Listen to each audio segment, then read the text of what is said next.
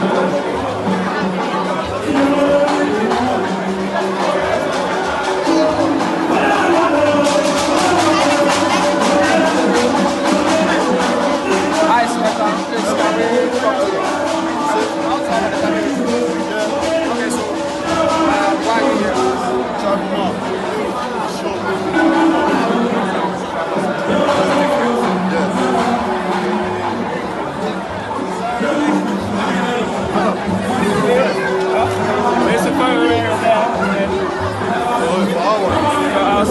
then Sherman should be off, so I don't know.